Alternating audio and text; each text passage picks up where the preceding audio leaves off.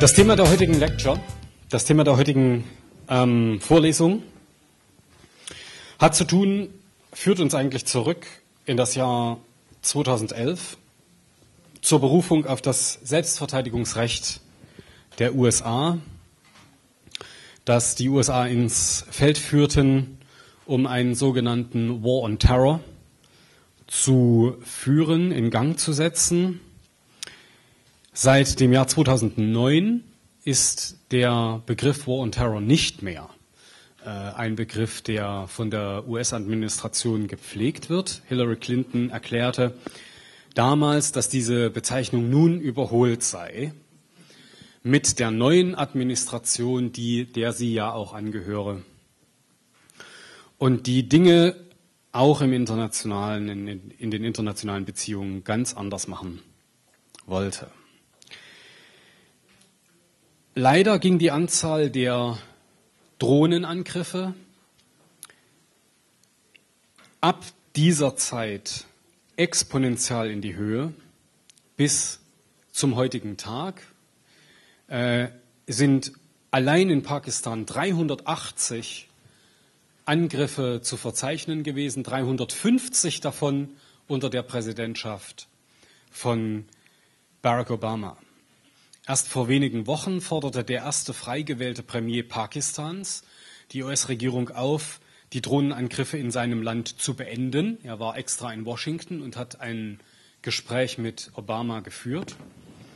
Und die Antwort kam nur neun Tage später mit einem weiteren tödlichen Angriff auf Hakimullah Massoud, einen zweifelsohne gefährlichen und brutalen Taliban-Führer, der aber gerade eingewilligt hatte, nach über 15 Jahren Kriegführung gegen die pakistanische Regierung, mit der pakistanischen Regierung über einen Frieden im Nordwesten zu verhandeln. Das war der erste Versuch seit 15 Jahren, im Nordwesten Frieden zu schaffen. Und dieser Mann ist durch einen am 1. November 2013 exekutierten Drohnenangriff von den USA getötet worden. Wir haben uns heute Abend eine Frau eingeladen, die uns Auskunft geben kann, wie wenige sonst, zu diesem Thema. Medea Benjamin aus den USA ist Vollblutpolitikerin, aber nicht eine, die im Parlament sitzt, sondern eine, die ihr Wirkungsfeld schon immer in der Gesellschaft gesehen hat. Als Aktivistin der Friedensfrauengruppe Code Pink ist sie mittlerweile auch in, der, in den US-amerikanischen Mainstream-Medien geachteter Interviewpartner. Sie wurde 1952 in New York geboren und studierte an der Columbia State University Wirtschaftswissenschaften und Gesundheitswesen und arbeitete auch in diesem Feld im Gesundheitswesen für zehn Jahre bei der Weltgesundheitsorganisation und den Vereinten Nationen in Lateinamerika. Sie engagierte sich schon immer politisch links, zum Beispiel für fairen Handel und gründete schließlich aber 2002 mit anderen Frauen die Frauenfriedensgruppe Code Pink Women for Peace. Seither ist Code Pink zu einer Berühmtheit geworden für die vielen kreativen, auch spaßigen Aktionen, mit denen sie Aufmerksamkeit, mit denen die Gruppe Aufmerksamkeit für antimilitaristische Positionen erringt. Seit 2009 beschäftigt sie sich speziell mit der Drohnenkriegsführung und die Zahl der Politiker, die sich durch ihre mittlerweile charakteristische Stimme aus dem Hintergrund am Weitersprechen gehindert sehen, diese Zahl wächst ständig. Der letzte war Barack Obama, der anschließend meinte, It is worth listening to the voice of that woman These issues cannot be glossed over. In dieser Woche haben die Rosa-Luxemburg-Stiftung und die Drohnenkampagne Medea Benjamin gemeinsam eingeladen, nach Deutschland zu kommen. Und wir sind alle zusammen, also die Rosa-Luxemburg-Stiftung und die Drohnenkampagne, sehr erfreut, Sie hier zu haben auf Deutschland-Tour, auf Deutschland-Tournee sozusagen. Sie wird einige Lesungen aus ihrem Buch machen, das auf Deutsch im Oktober im Leica Verlag erschienen ist. Und jetzt, without much further ado, the floor is yours, Benjamin, uh, Medea Benjamin. Welcome to Berlin.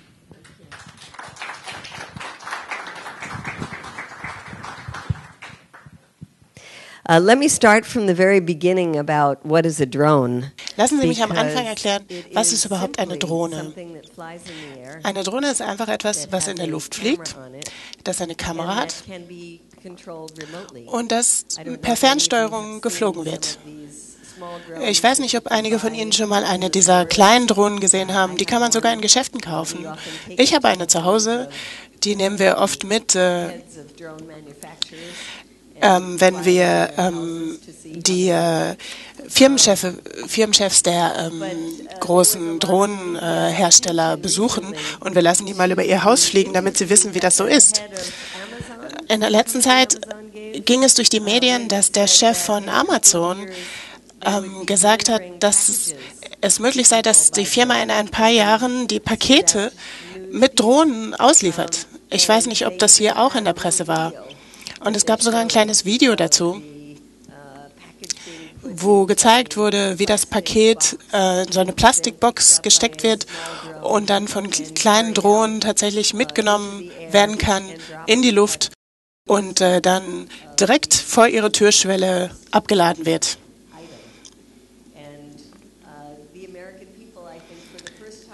Ich denke, das war das erste Mal, dass die Amerikaner erkannt haben, dass es in der Zukunft wirklich so sein könnte, dass man Drohnen für viele verschiedene Dinge benutzt. Es gibt zum Beispiel schon Drohnen, die für humanitäre Zwecke eingesetzt werden. Zum Beispiel ähm, bei äh, der Überwachung von, ähm, von äh, vom Aussterben bedrohten Arten oder wenn man nach äh, Waldbränden sucht oder nach Opfern von äh, Katastrophen. Also das ist natürlich gut. Meiner Ansicht nach äh, ist, äh, gibt es viele gute Zwecke, für die man Drohnen einsetzen könnte. Aber ich werde mich heute auf die negativen Zwecke ähm, beschränken, über die ich sprechen möchte, nämlich die Nutzung von Drohnen zum Töten und zum Ausspionieren. In den USA ist es so, dass man schon seit Jahren an Drohnen geforscht hat. Das fing schon im Ersten Weltkrieg an, dann im Zweiten Weltkrieg. Und äh, Drohnen wurden schon mehr oder weniger im Vietnamkrieg eingesetzt. Aber erst in den 80ern und 90ern, als äh, Navigationssysteme entwickelt wurden und die ganze Satellitentechnologie, die man brauchte, erst dann gab es wirklich diese Möglichkeit, Drohnen zu nutzen in, auf umfassendere Art. Die USA arbeitet da ganz eng zusammen mit dem israelischen Militär, denn die Technologie in Israel ist äh, am weitesten entwickelt. Aber es dauerte noch bis zu den Angriffen von 9-11, als dass Drohnen wirklich ähm, so wichtig wurden. Zu der Zeit von den Angriffen damals auf die Twin Towers hatte, gab es nur etwa 50 Drohnen im Arsenal der, des US-Militärs. Heute gibt es wesentlich mehr. Viele können, ähm, sind ganz klein, sie können von den Soldaten in Rucksäcken mitgebracht werden. Und dann gibt es die ganz großen, die Reaper oder Predator Drones, die so groß sind ungefähr wie ein normales Flugzeug. Und dann gibt es die, die allergrößte Drohne, das ist der Global Hawk.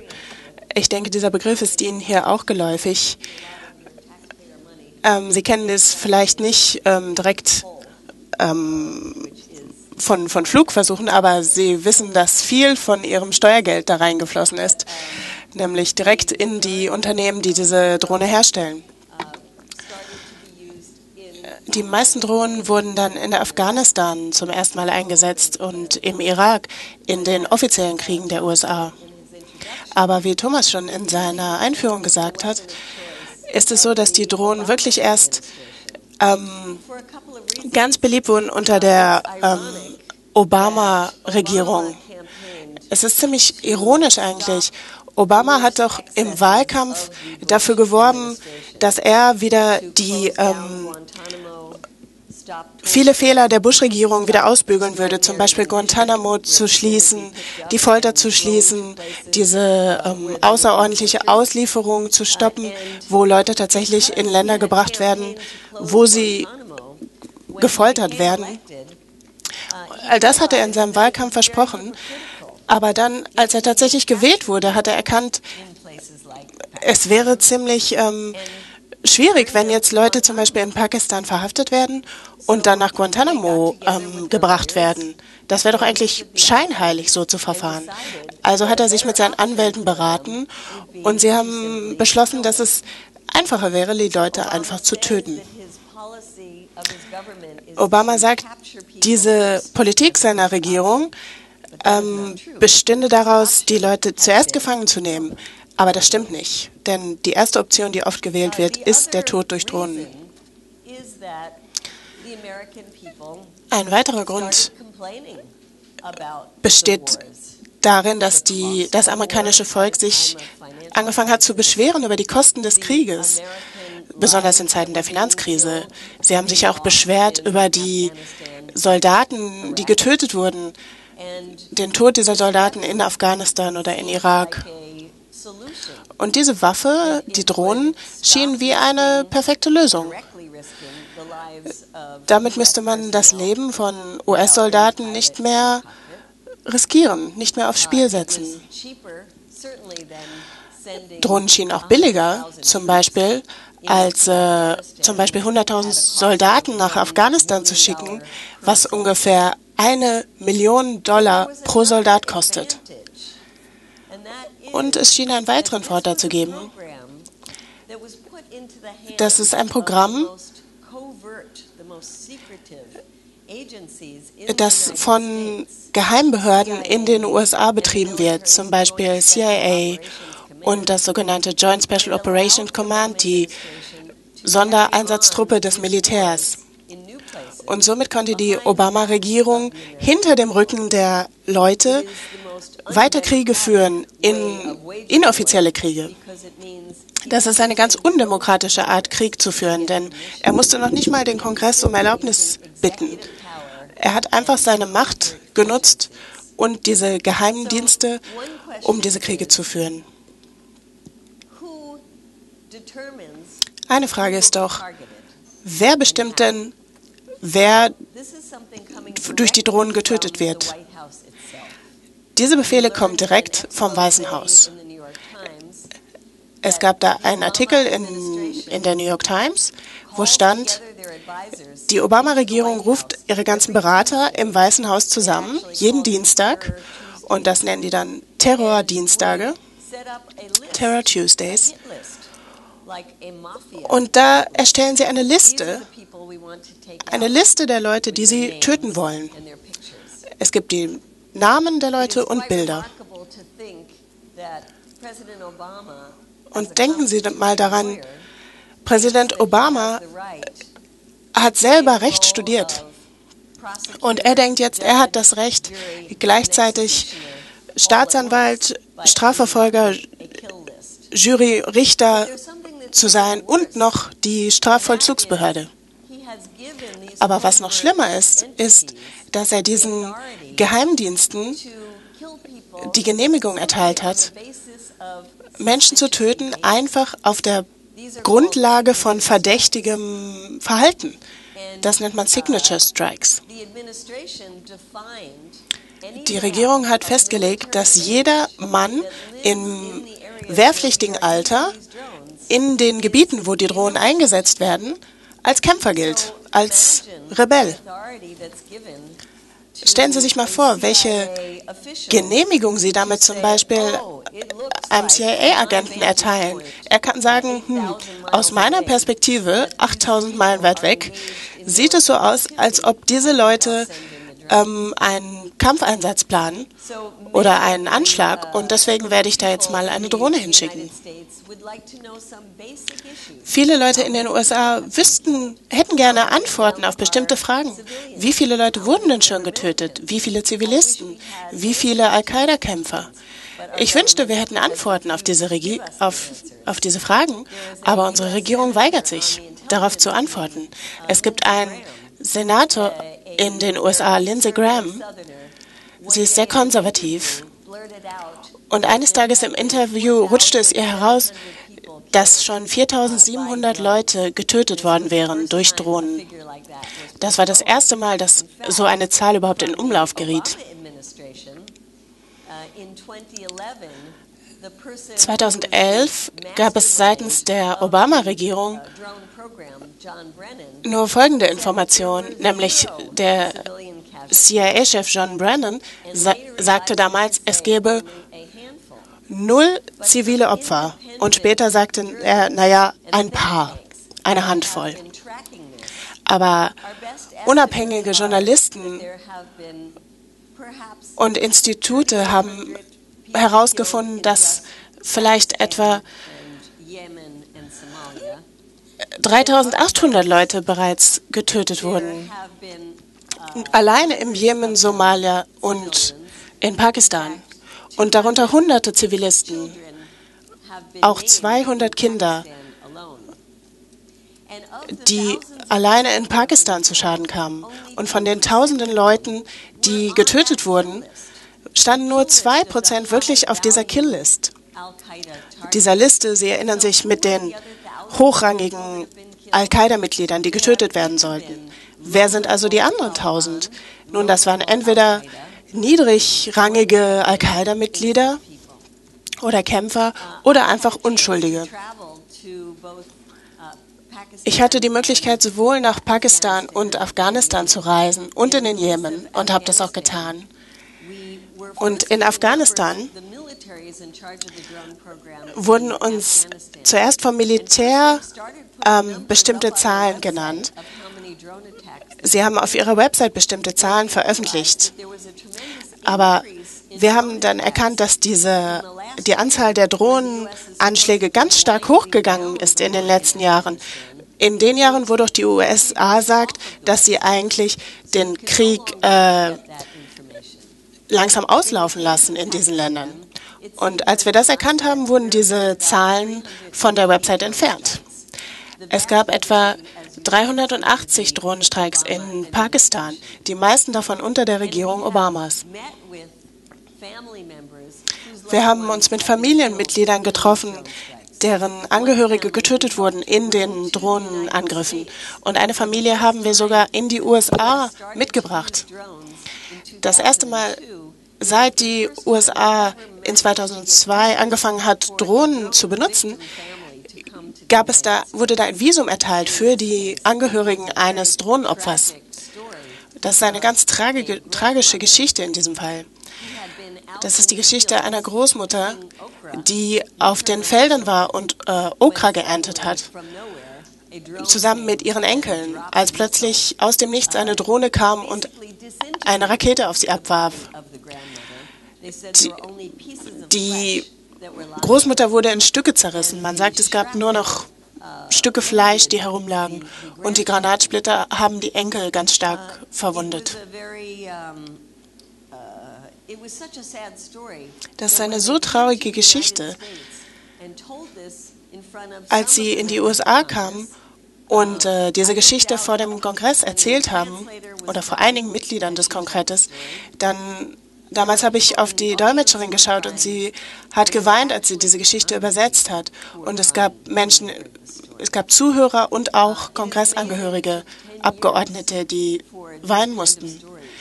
Aber erst nach zehn Jahren werden jetzt diese Geschichten langsam in den USA erzählt. Als wir nach Pakistan gingen, haben wir viele Geschichten gehört dieser Art. Aber was wir auch gehört haben, ist, es sind nicht nur die Menschen, die getötet oder verwundet werden, sondern es geht auch um das ganze Volk, das terrorisiert wird von diesem, von diesem permanenten Brummen der Drohnen in der Luft. Stellen Sie sich vor, Sie wissen, dass die Drohne irgendwann eine Rakete abwerfen könnte, aber Sie wissen nicht, wann, wo oder wer dieser Drohne zum Opfer fallen wird. Das wurde uns so erzählt und das ist auch ganz klar dokumentiert von, ähm, von Universitäten in Stanford und New York. Von denen wurde ein Booklet veröffentlicht, leben mit Drohnen.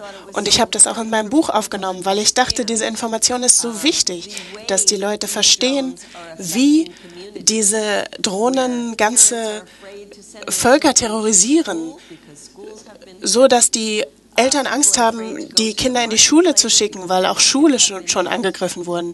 Die Leute trauen sich nicht mehr, auf den Markt zu gehen oder sich an Gemeinschaftsaktivitäten zu beteiligen oder zu großen Veranstaltungen zu gehen, wie zum Beispiel Hochzeiten oder Beerdigungen. Das macht das ganze Leben in der Gemeinschaft kaputt. Die Kinder werden traumatisiert, es gibt viel Depression, die Kinder machen ins Bett vor lauter Angst nachts.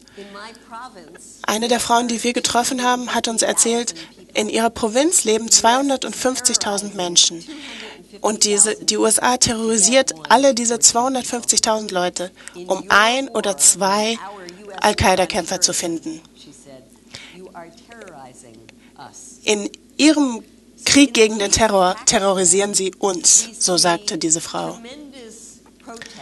Oder schauen Sie nach Pakistan. Hier sehen wir große Proteste gegen die, die Drohnen der USA. Die Menschen in Pakistan sagen, wir hassen die Taliban, wir hassen Al-Qaida und wir hassen die, die Drohnen aus den USA. Und wir sind irgendwo zwischen diesen drei Elementen gefangen. Die Proteste sind stark angewachsen. Thomas hat schon erzählt aus, von den Streiks am 1. November, als einer der Taliban-Kämpfer äh, getötet wurde, gerade bevor eigentlich Verhandlungen beginnen sollten. Als Ergebnis davon gab es Blockaden eines Militärstützpunktes in Pakistan. Man hat versucht, die USA zu zwingen, die Drohnenangriffe einzustellen. Aus Wikileaks wissen wir, dass die Regierung in Pakistan in der Vergangenheit mit der Regierung in den USA zusammengearbeitet hat und die Drohnenangriffe unterstützt hat, obwohl sie der, ihrem Volk gesagt haben, sie seien gegen die Drohnenangriffe.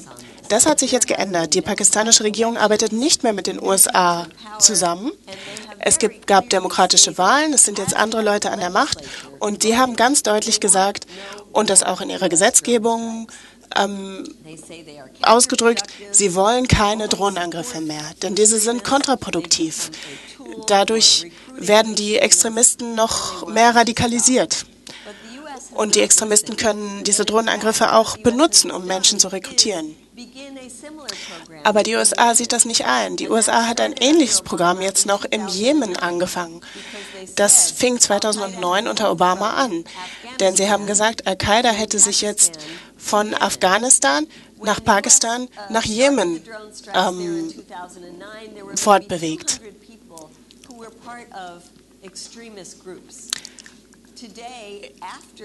Vor diesen Drohnenanschlägen gab es etwa 200 Extremisten im Land. Heute gibt es über 1000.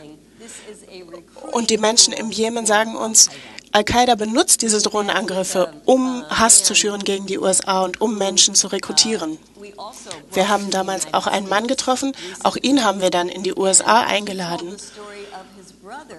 Erst vor kurzem. Er hat uns die Geschichte seines Bruders erzählt. Der war ein äh, Prediger, der sich ganz stark gegen Al-Qaida ausgesprochen hat. Er sagte, Al-Qaida hätte keinen Respekt für Menschenleben.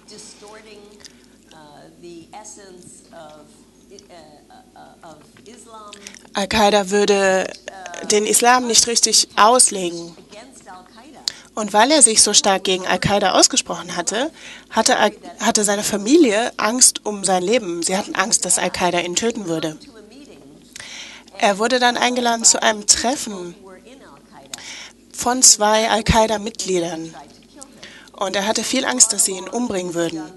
Er hat also seinen jungen Neffen mitgebracht, der ein Polizist war, damit dieser ihn beschützen sollte. Und diese vier trafen sich also. Und am Ende wurde dieser Priester nicht von Al-Qaida getötet, sondern von einer US-Drohne. Wir haben ebenfalls einen Mann getroffen. Äh, sein Bruder war Taxifahrer. Und Sie wissen, als Taxifahrer nehmen Sie Leute mit im Auto. Und genau das hat er getan. Fremde Leute natürlich. Und sie fuhren auf der Straße und zehn Minuten später wurde das Auto von einer Rakete getroffen, die von einer Drohne der USA abgefordert, abgeschossen wurde. Der Bruder wurde dann getötet. Dieser Mann, den wir getroffen haben, Mohammed Al-Gawi, war ein sehr stolzes Mitglied seines Stammes. Und er sagte zu uns, nach den Bräuchen seines Stammes sei es so, wenn jemand ein schreckliches Verbrechen begeht oder einen furchtbaren Fehler, dann müssen sie etwas tun, um das wieder gut zu machen. Sie müssen erstmal zugeben, welche Tat sie begangen haben. Dann müssen sie sich bei der Familie entschuldigen und sie müssen die Familie entschädigen für ihren Verlust. Und er sagte weiter, die USA hätten gar nichts davon getan. Sie hätten noch nicht mal zugegeben, was sie seiner Familie angetan hätten. Er sagt, ist es vielleicht so, dass meine Stammeskultur weiterentwickelt ist in Bezug auf Gerechtigkeit als die Vereinigten Staaten von Amerika? Und er hat Präsident Obama geschrieben und hat genau darum gebeten, darum, dass die Tat zugegeben wird, dass es eine Entschuldigung gibt und eine Entschädigung. Er hat aber keine Antwort bekommen. Stattdessen war es so, dass man ihm ein Visum verweigert hat, um in die USA einzureisen. Das ist also die Situation im Jemen, wo die Drohnen dazu beitragen, dass Al-Qaida neue Mitglieder rekrutieren kann. Und dann gibt es Drohnen, die genutzt werden in Somalia zum Beispiel, auch in Libyen, auf den Philippinen. Und wenn Sie ein Gefühl dafür bekommen wollen, wo die USA eigentlich hinwollen mit diesem Drohnenkrieg, dann schauen Sie sich einfach mal an, wo neue Stützpunkte eröffnet werden. Es gibt jetzt neue Stützpunkte im mittleren, Nahen und Mittleren Osten, zum Beispiel in Katar, im Oman, in den Vereinigten Arabischen Emiraten und in Saudi-Arabien. Saudi-Arabien ist ähm, ein ganz besonderes Beispiel für mich und ich denke für alle Amerikaner, Vielleicht erinnern Sie sich, einer der Gründe, der, die Osama bin Laden angab, warum er die USA hasste, war, dass, es, dass die USA Stützpunkte im Heiligen Land in Saudi-Arabien hat. Und eine der wenigen positiven Sachen, die George Bush getan hat, war, diese Stützpunkte in Saudi-Arabien 2003 zu schließen. Aber dann kam die Obama-Regierung 2010 und hat diese Stützpunkte wieder eröffnet und fliegt jetzt Drohnen von diesem Stützpunkt aus. Für mich ist das eine Gefahr für unsere nationale Sicherheit. Das, das äh, lädt die Leute gerade dazu ein, ähm, es Amerika zurückzuzahlen. Schauen wir zum Beispiel mal auf die Seychellen oder auf das kleine Land Djibouti, auch in Äthiopien oder in Westafrika, zum Beispiel im Niger. Dort geht also etwas vor. Und das zeigt, dass die USA Drohnen nicht nur zur Überwachung nutzt, sondern auch, um tödliche Angriffe auszuführen in Afrika. Das wiederum sollte ganz besonders den Deutschen zu denken geben, denn Deutschland ist direkt daran beteiligt. Das Hauptquartier der Afrikom ist in Stuttgart. Von dort werden Ziele in äh, Afrika angeflogen. Und dann gibt es den Stützpunkt in Rammstein. Da gibt es ganz viel militärische Aktivität noch aus den Zeiten des Vietnamkrieges zum Beispiel. Tausende Amerikaner arbeiten dort, Militärangehörige und Zivilisten. Und das ist zu einem Zentrum des Drohnenkrieges geworden. Und es gab einige gute ähm, Nachforschungen seitens ihrer Medien in der Süddeutschen Zeitung, die den Leuten aufgezeigt haben, dass es hier eine Satellitenstation gibt, eine Funkstation, die den Leuten hilft, ähm, die den Menschen in den USA hilft, ähm, potenzielle Drohnenopfer zu, potenzielle Drohnenziele zu finden.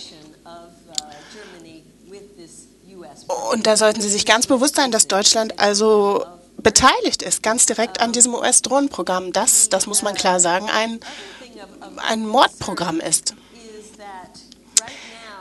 Eine andere Sache, die ganz wichtig ist, ist, dass es im Moment nur die USA, Großbritannien und Israel sind, die Drohnen benutzt haben.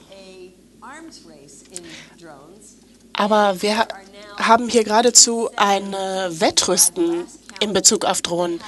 Und äh, nach letzten Informationen gibt es jetzt 87 Länder, die über Drohnen verfügen. Und ich spreche hier nicht über die ganz kleinen, sondern einige von denen sind die großen, wie die Predator-Drohnen. Die meisten werden zur Überwachung benutzt. Aber es gibt etwa 10 bis 15 Länder, die gerade dabei sind, diese Drohnen mit Waffen auszustatten, darunter China und der Iran. Der größte Exporteur von Drohnen sind nicht die Vereinigten Staaten, sondern Israel. Israel hat die Drohnen ganz systematisch eingesetzt zu Überwachungszwecken, zum Beispiel im Gazastreifen, aber auch dafür, Leute zu töten im Gazastreifen. Israel rühmt sich sogar damit, dass sie ständig ihre Drohnen für den Krieg äh, testen und die Technologie immer weiter verbessern.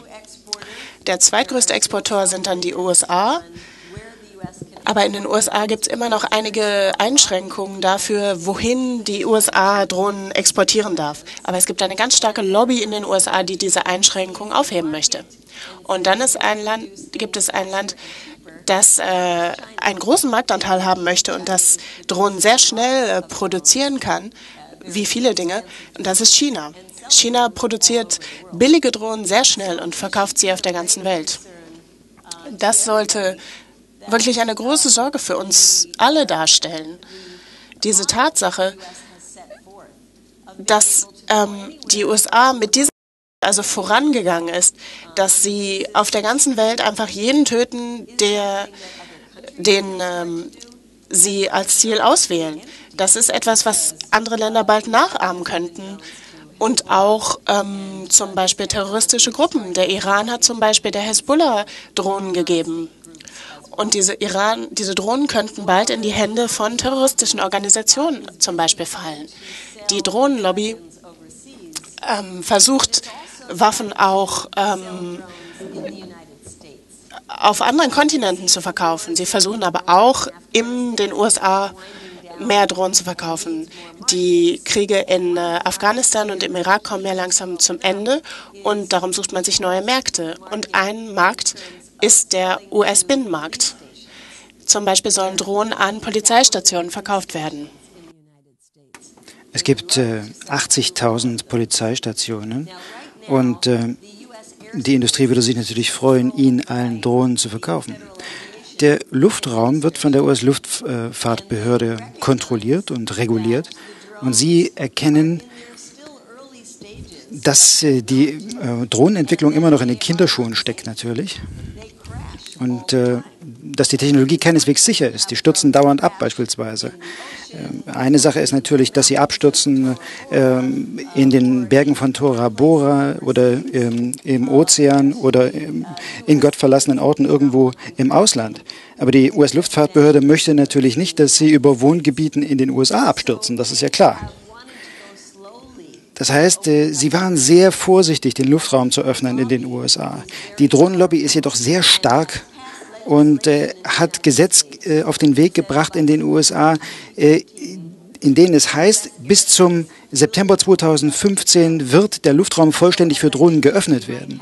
Und wie ich das bereits gesagt habe, vielleicht äh, werden dann Pakete äh, ausgeliefert mit Drohnen, aber Sorge sollte uns bereiten oder bereitet uns viele Sorge, äh, eben Drohnen in den Händen von Strafverfolgungsbehörden, äh, das FBI beispielsweise oder anderen Regierungsbehörden. Äh, ich glaube, ich muss äh, euch hier in Deutschland nicht überzeugen, dass wir bereits einen Überwachungsstaat in den USA haben. Äh, das äh, habt ihr ja auch erfahren, ähm, als Angela Merkel abgehört wurde. Das heißt, äh, es findet viel zu viel Überwachung statt, ein Überüberwachungsstaat, äh, der schon existiert. Und wenn wir es äh, Strafverfolgungsbehörden oder dem FBI erlauben, Drohnen in den USA zu verwenden, wie beispielsweise den Global Hawk, der eine ganze Stadt beobachten kann, überwachen kann, dann werden wir eine Überwachungsgesellschaft sein, in der es rund um die Uhr Überwachung gibt. Und das wird natürlich das öffentliche Leben in den USA völlig umkrempeln. Und es gibt auch einen Rückschlag äh, dagegen. Ähm, gegen diese Verbreitung im Inland. Es gibt äh, einige äh, Polizeistationen, einige Strafverfolgungsbehörden, die jetzt schon Zulassungen haben, um diese Drohnen zu testen. Eine so eine Polizeistation äh, befindet sich in Seattle. Ich weiß nicht, ob ihr Seattle kennt. Das ist eigentlich eine sehr liberale Stadt. Die Menschen in dieser Stadt äh, hatten keine Ahnung, dass äh, die Polizei von Seattle zwei Drohnen erworben hat. Als sie das erfahren haben, waren sie entrüstet und haben ähm, sich getroffen mit dem äh, ähm, Polizeichef unter anderem und äh, mit dem Bürgermeister. Und sie haben sich dort so entrüstet, sodass der Bürgermeister sich entschuldigen musste und die Drohnen zurückgeben musste. Und äh, das möchten wir natürlich, dass das in, äh, überall in den USA passiert. Es gibt andere Beispiele, die nicht so gewaltlos sind. Eine kleine Stadt in Colorado beispielsweise, da äh, gibt es eine Initiative, eine Wahlinitiative, äh, die besagt, dass äh, jeder, der, eine, der schafft, eine Drohne abzuschießen, schießen, äh, dafür eine Belohnung bekommt von der Stadt. Es gibt also durchaus eine gesunde Opposition, die sich hier regt, die sich hier bildet. Das ist, die gründet sich nicht auf irgendeine Ideologie. Ähm, das heißt, das ganze politische Spektrum wird hier ähm, abgedeckt. Und es werden Bündnisse geschmiedet, um die Verwendung, die Anwendung von Drohnen zu regulieren. Die zum Beispiel sagen, dass Strafverfolgungsbehörden Drohnen nicht verwenden äh, dürfen, ohne eine ähm, Erlaubnis vom Gericht zu bekommen. Wir müssen die Opposition, den Widerstand gegen diese Überwachung mit dem Widerstand gegen die Tötung mit Drohnen äh, verbinden. Und es wird sehr schwierig, ähm, es wird tatsächlich sehr gruselig, ähm, wenn erlaubt wird, dass Drohnen eben zur Überwachung benutzt werden können. Denn werden sie früher oder später eben mit Waffen auch bestückt werden. Und wir haben das gelernt, dass genau das passieren wird von einem Menschen in Jemen nämlich äh, diesen Menschen, mit dem ich schon gesprochen habe, dessen Bruder getötet wurde durch eine Drohne. Er hat gesagt, wir, fühlen uns, wir fühlen uns hier wie Versuchskaninchen. Ihr, ihr testet eure Technologien an uns aus, genauso wie die Israelis äh, ihre Technologien an den Palästinensern ausprobieren. Aber wir sollten nicht so leichtfertig uns zurücklehnen und äh, äh beruhigt sein. Ähm, natürlich äh, können wir das sein, wenn es nur um Menschen geht, die getötet werden, die tausende Meilen weg sind. Aber äh, es wird auch zurückkommen in unser eigenes Land. Und ich denke, das war sehr wichtig, äh, das zu hören und dieses Beispiel auch äh, uns vor Augen zu führen. Wir sind also dabei, eine Bewegung aufzubauen, die Widerstand leistet gegen diese Drohnen. Ähm, Proteste finden statt an den Militärstützpunkten, wo die, von wo aus die Drohnen gelenkt werden, ferngesteuert werden, ähm, am Hauptsitz der CIA, des Pentagons, äh, am Weißen Haus. Wir äh, gehen zu den Willen der Kongressabgeordneten, die nicht handeln wollen. Es gibt eine sehr gut organisierte Kampagne gegen die nächsten technologische Entwicklung. Das wären nämlich die autonomen Drohnen, Drohnen, bei denen es gar niemanden mehr gibt, äh, der sie lenkt, die vorprogrammiert werden, die nach einer vorprogrammierten Mission äh, töten. Es gibt äh, Kampagnen, äh, um die Menschen in den USA aufzuklären, um sie zu informieren. Deshalb bin ich durch hunderte von Städten in den USA gereist, äh, an Universitäten gegangen, um dort äh, zu sprechen, an die Universitäten, wo die Forschung im Bereich Drohnen äh, vorangetrieben wird. Und äh, vor ein paar Wochen gab es einen Drohnengipfel. Und dort haben sich Hunderte von Menschen getroffen. Äh, aus der ganzen USA kamen sie zusammen. Es gab, waren auch ein paar internationale Gäste, wie beispielsweise Elsa, die auch heute hier äh, ist, aus Deutschland, und haben dort ein US-amerikanisches Netzwerk äh, geschaffen, und wir wollen das ausweiten, auf ein, um es eben global zu machen, um es weltumspannend zu machen. Deshalb bin ich auch in Deutschland. Äh, wir haben ein Treffen mit Vertretern aus acht verschiedenen Ländern, um zu untersuchen, wie können wir äh, unsere Bemühungen äh, zusammenbringen, um einen größeren Widerstand letztlich aufzubauen. Wir waren ziemlich erfolgreich in der Vergangenheit in diesen Dingen. Einige wissen das vielleicht von aus. In den letzten zehn, in den letzten Jahrzehnten äh, sah es so aus, als wären wir eine sehr oder wir waren eine sehr militaristische äh, Gesellschaft. Nach den Terroranschlägen vom 11. September 2001 äh, umso mehr. Äh, wir haben die Angriffe auf Afghanistan, auf, äh, äh, auf den Irak eben unter, unterstützt. Jetzt ändert sich jedoch die Stimmung.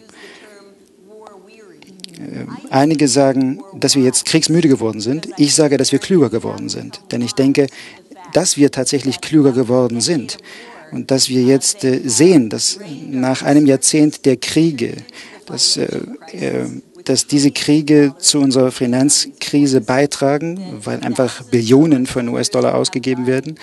Äh, tausende US-Soldaten sind für nichts gestorben. Die Menschen in Afghanistan und Irak, denen geht es auch nicht besser, weil wir in ihren Ländern sind. Und dieser Widerstand gegen den Krieg wurde besonders deutlich, als Obama einen neuen Krieg anfangen wollte, nämlich in Syrien. Das habe ich noch nie vorher gesehen. Äh, eine solche äh, spontane Entrüstung von Seiten der US-amerikanischen Menschen, der Menschen in Amerika, die gesagt haben, nein, es reicht, das werden wir nicht zulassen. Wieder über das gesamte politische Spektrum hinweg sind alle aufgestanden, äh, haben sich gegen äh, seine Kriegspläne gerichtet. Er hat nämlich versucht, äh, den Kongress dazu zu überreden, den Krieg in Syrien zuzulassen. Es gibt Lobbygruppen in den USA, die es gerne sehen würden, dass eine militärische Option genutzt werden würde im Vorgehen gegen Iran. Ähm, das passiert jedoch nicht. Wir sehen jetzt, dass wir uns jetzt in Richtung Verhandlung bewegen. Und das hängt eben mit dem Widerstand der Menschen zusammen, die dafür gekämpft haben. Wir wenden uns, haben da die größten Lobbygruppen, die Lobbygruppen des, des Militärs, der Rüstungsindustrie der, und von Israel äh, gegen uns. Und das zeigt, äh, wie stark dieser äh, Stimmungswechsel tatsächlich ist. In der, in der Öffentlichkeit sehen wir das auch. Ähm, es gab eine Untersuchung, die zeigte, eine Befragung, die zeigte, dass 83 Prozent der äh, US-Amerikanerinnen ähm, die Anwendung von Drohnen gegen Verdächtige äh, im Ausland ähm, unterstützt haben und verdächtigt eben, also äh, noch nicht verurteilt irgendeiner Straftat. Und das war im Jahr 2012, im Februar 2012. Heute äh, ergeben die Umfragen 60 Prozent äh, für die Unterstützung von der Anwendung von Drohnen. Das heißt, äh, die Unterstützung ist hier äh, wesentlich zurück, äh, zurückgegangen. Und äh, wir werden es noch sehen, wir werden den Tag noch sehen, wenn die Mehrheit der, US, der Menschen in, in, in den USA eben dagegen sind. Und in diesem größeren Zusammenhang wollen wir natürlich, dass ganz Amerika Nein zum Krieg sagt, zum Krieg an sich sagt. Vielleicht noch etwas äh, über unseren Besuch in Pakistan. Das war wirklich sehr bemerkenswert. Äh, als wir von Code Pink einen Aufruf gestartet haben oder eben gesagt haben, wir wollen die Todes äh, die Opfer ähm, in den Stammesgebieten in Pakistan besuchen, ähm, die Opfer von Drohnenangriffen wurden.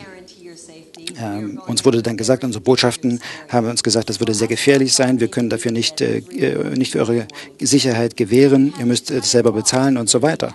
Äh, ich dachte, da würde sich niemand melden, dort mitzukommen. Und wir mussten jedoch die Liste schließen, äh, als äh, 34 schon zusammengekommen waren, die alle mitkommen wollten. Wir sind also nach Pakistan gereist ähm, und haben dort äh, ich äh, habe die Mitglieder der Delegation dann gefragt, äh, okay, äh, gab es bei euch jemanden, der dagegen war, dass ihr fahrt? geliebten Menschen, der dagegen war? Und alle haben ihre Hand gehoben. Ähm, uns wurde gesagt, äh, dass äh, wir natürlich nicht äh, da sein sollten, weil es anti-amerikanische Stimmung gibt in Pakistan. Wir wussten natürlich, weswegen das so war. Natürlich, weil die USA dort Raketen abwirft mit ihren Drohnen. Ähm, wir haben diese Stimmen jedoch nicht, äh, äh, wir haben das zwar wahrgenommen, aber äh, wir haben Pakistan besucht. Und wir waren nicht nur in der Hauptstadt, sondern wir sind auch in die Stammesgebiete äh, gereist.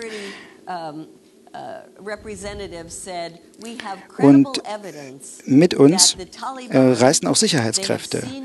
Und äh, sie haben uns gesagt, äh, die Taliban, die haben äh, gesehen, dass ihr da seid. Sie haben das durchs Fernsehen und die äh, Zeitungen eben mitbekommen.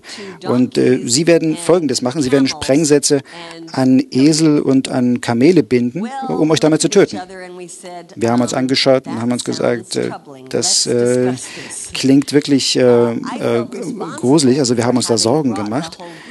Ich habe mich jetzt verantwortlich gefühlt, weil ich habe die Delegation nach Pakistan gebracht. Ich habe ihnen gesagt, wir müssen diese Gefahr nicht eingehen. Wir haben äh, bereits äh, viele äh, Opfer und deren Familien getroffen in Islamabad. Ähm, wir äh, haben mit den Medien gesprochen. Wir müssen also diese Gefahr, jetzt dieses Risiko nicht, äh, nicht, äh, nicht eingehen. Die gesamte Delegation sagte jedoch, wir sind jetzt schon hierher gekommen, wir wollen jetzt auch in diese Gebiete gehen, wo die Drohnen die Menschen, unsere Drohnen die Menschen töten.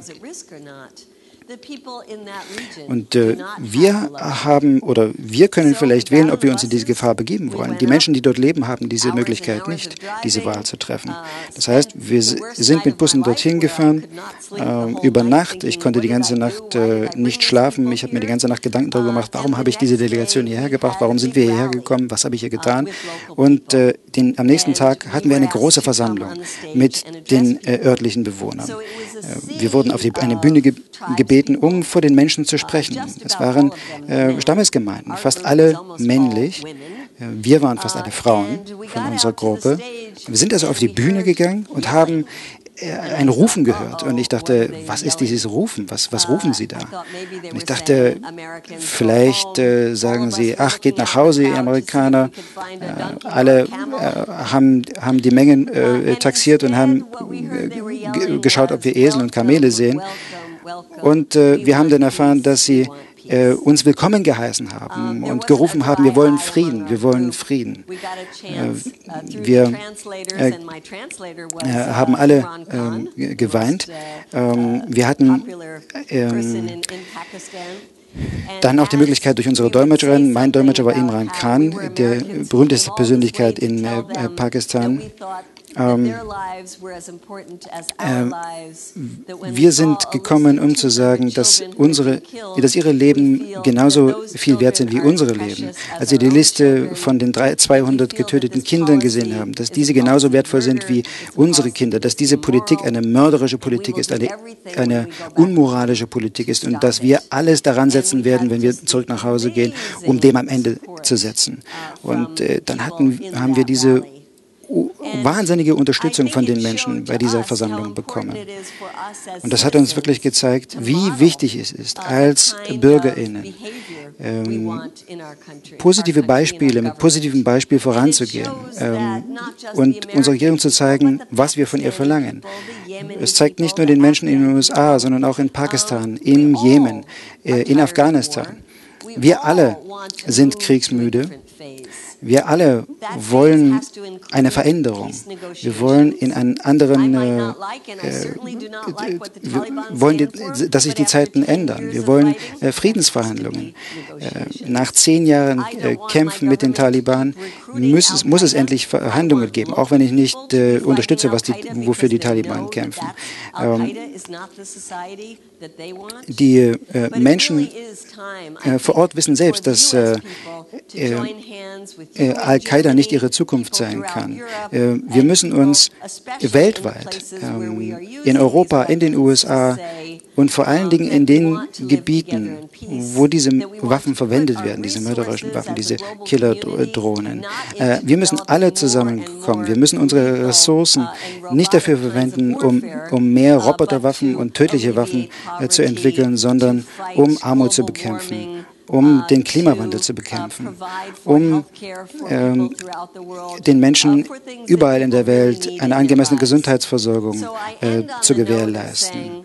All diese Sachen, die wir so nötig brauchen, die wir alle so nötig brauchen. Und all das, was wir, äh, das, was ich so schätze, und wir von Code Pink, äh, die Arbeit der Linken, die Arbeit von euch, die ihr heute gekommen seid. Und ich hoffe, dass wenn ich eines Tages wieder nach Deutschland kommen kann und stolz sagen kann, dass wir äh, nicht nur die Jahre von Bush hinter uns gelassen haben, ähm, und, äh, sondern dass wir sagen können, egal wer jetzt im Weißen Haus ist oder wer, ähm, wie der Kongress zusammengesetzt ist, wir äh, haben es geschafft, äh, dass wir unsere Regierung dazu gebracht haben, ähm, äh, eine neue Ära des Friedens einzuleiten. Dankeschön.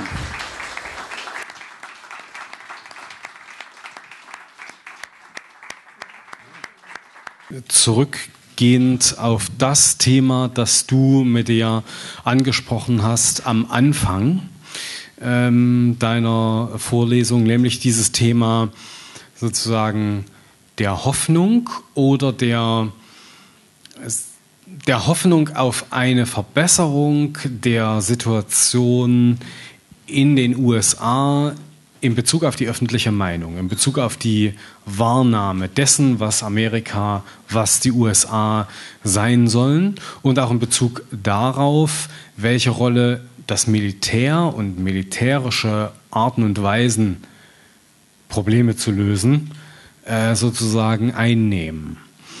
Ähm,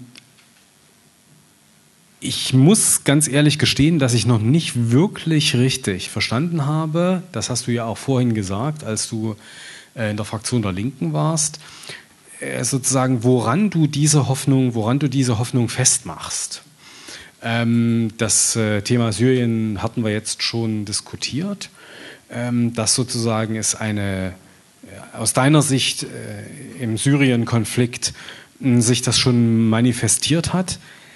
Welche anderen äh, Punkte würdest du sozusagen ähm, würdest du sehen, in denen sich diese deine Hoffnung manifestiert?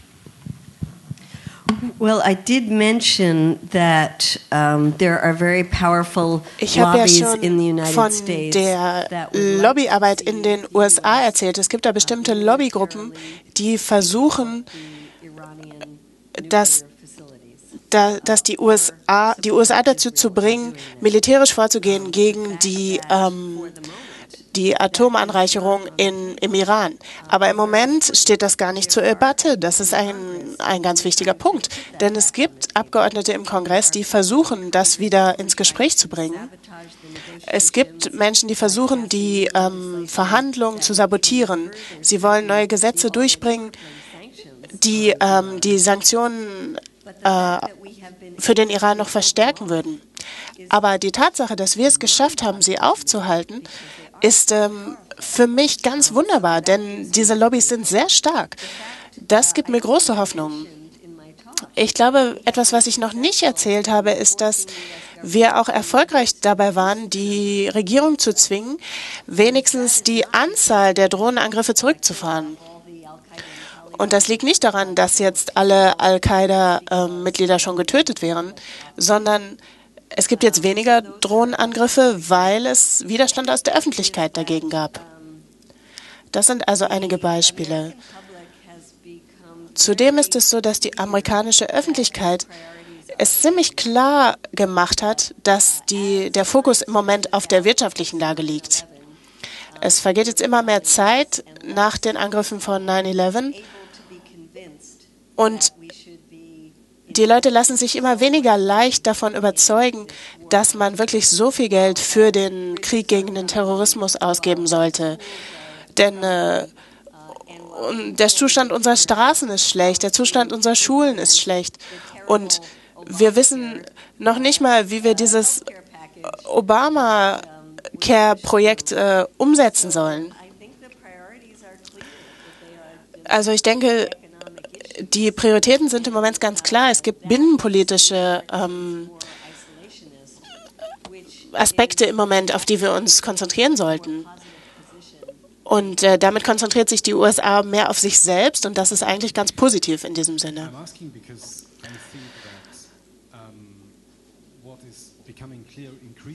Ich frage das, denn ich denke, was in der Diskussion so langsam ganz klar wird, auch in Bezug auf Europa, ist, dass es immer einen bestimmten Gedankengang gab, der besagte, public opinion die Öffentlichkeit, die öffentliche Meinung in der Außenpolitik spielt keine Rolle.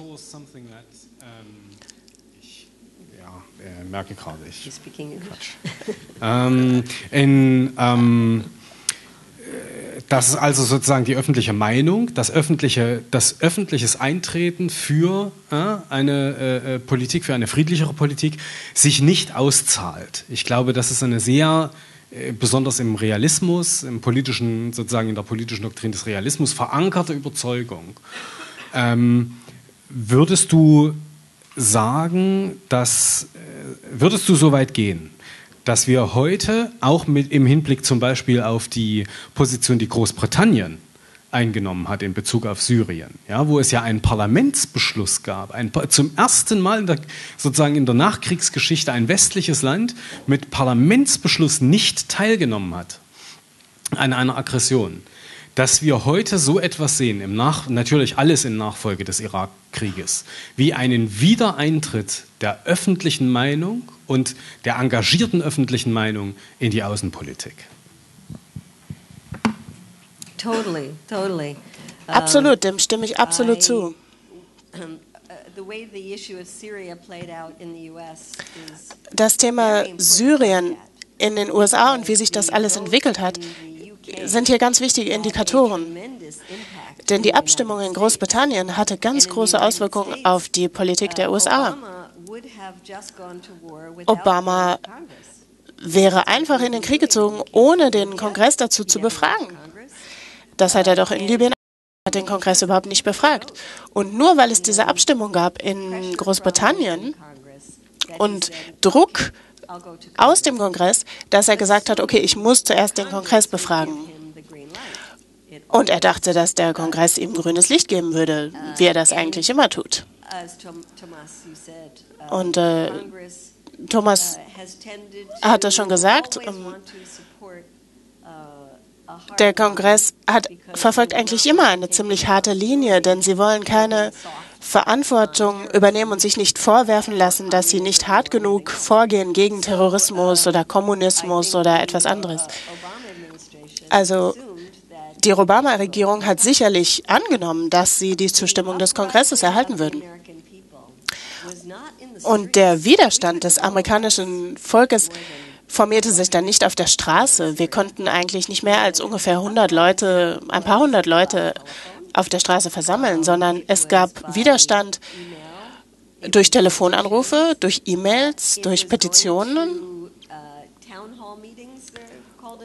Und der Widerstand geschah dadurch, dass die Leute sich an, ähm, an lokaler Politik beteiligt haben, dass sie zu lokalen politischen Treffen gegangen sind. Dann gab es ähm, Informationen darüber, dass die Kongressabgeordneten zurückgegangen sind in ihre Wahlkreise und die Leute in ihren Wahlkreisen ihnen sie unter Druck gesetzt haben und gesagt haben, sie stimmen besser nicht ab für den Krieg ähm, in Syrien, denn sie ähm, repräsentieren uns und wir sind dagegen.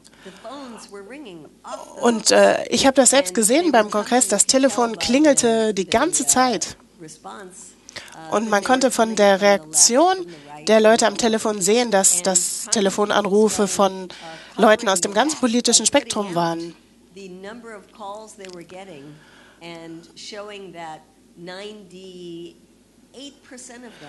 The number of calls they were getting and showing that 98% of them Und 98 Prozent dieser Telefonanrufe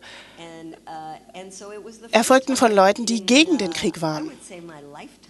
Das war das erste Mal, ich glaube, in meinem Leben, dass ich gesehen habe, dass der Kongress der Regierung eine Absage erteilt hat und wirklich mal auf das amerikanische Volk gehört hat. Und Sie haben ganz recht, die Stimme des amerikanischen Volkes richtet sich mehr und mehr gegen den Krieg und wird auch immer lauter.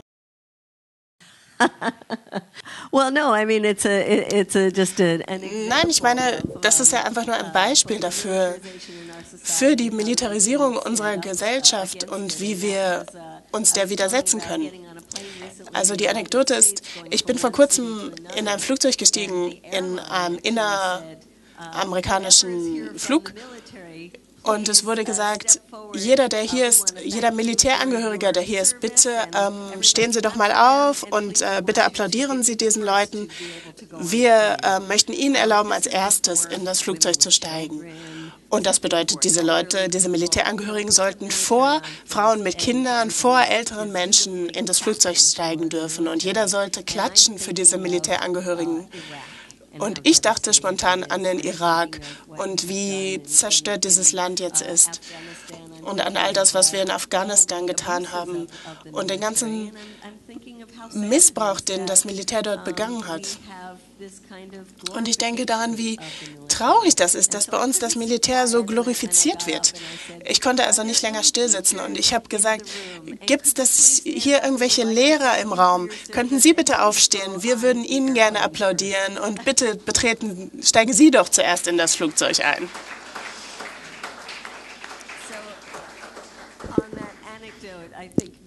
Also ich denke, das war vielleicht eine gute Anekdote, um äh, diesen Abend langsam zu beenden und zu sagen, das ist doch wirklich die Frage, wie schaffen wir es, unsere Gesellschaften von so einer starken Fokussierung auf Militär ähm, wegzubewegen? Wie können wir es schaffen, dass weniger Geld in Militärzwecke gestellt wird?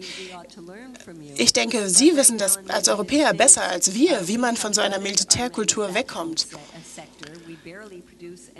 Wir haben unseren herstellenden, unser herstellendes Gewerbe noch beibehalten. Äh, wir stellen aber nicht viel her. Wir ähm, produzieren nur viele Waffen. Und äh, das führt natürlich auch zum, Scha zur Schaffung von vielen Arbeitsplätzen. Und ähm, die Kongressabgeordneten stimmen dafür ab, dass mehr Waffen benutzt werden, weil dann auch mehr, Wa mehr Waffen hergestellt werden. Und das bedeutet mehr Arbeitsplätze. Und das bedeutet wiederum, dass die Abgeordneten wiedergewählt werden, weil die Wähler zufrieden sind. Das ist also ein ganz äh, korruptes System eigentlich. Und das muss man ganz gründlich überarbeiten. Wer produziert überhaupt? Was wollen wir produzieren? Wer soll davon profitieren? Über all das müssen wir nachdenken. Und ich möchte Ihnen am Ende noch ein bisschen Hoffnung mitgeben, denn ähm, oft gibt es zu viel Pessimismus unter den Intellektuellen. Was wir brauchen, ist ein Optimismus der Herzen. Wenn wir gegen den großen Militärindustriekomplex kämpfen wollen, jeden Tag wieder, dann müssen wir das tun mit Hoffnung im Herzen. Und meine Hoffnung begründet sich darin, dass ich sehe, dass die junge Generation in den USA zwar sich nicht so an äh, Demonstrationen beteiligt, an der traditionellen Art zu demonstrieren, aber sie ähm, verweigern sich dem System. Sie ähm, wollen zum Beispiel Ökolandbau, sie wollen zurückziehen aufs Land, sie wollen eine, ähm, sie wollen einen anderen Lebensstil. Wir haben eine große Hackergemeinschaft auch, die einige der schlimmsten ähm, Akteure des Überwachungsstaates äh, lahmlegen wollen. Also es gibt hier ganz viele Hoffnungen bei der neuen Generation. Denn die sind nicht so sehr beeinflusst von diesem Denken, von, dieser, von diesem ständigen Hochheben des Militärs. Es gibt auch immer weniger Leute, die tatsächlich ähm, sich in, beim Militär einschreiben. Es ist jetzt weniger als ein Prozent der Bevölkerung, das überhaupt irgendwelche Beziehungen zum Militär hat. Und ich denke, am Ende wird sich das als etwas ganz Positives herausstellen in den USA. Also vielen Dank für Ihre Unterstützung, für die Arbeit, die Sie hier leisten, um die Kultur des Militarismus in Europa über die Jahrzehnte abzubauen. Und ich freue mich, von Ihnen noch mehr Input zu bekommen, wie man das auch in den USA schaffen kann. Vielen Dank.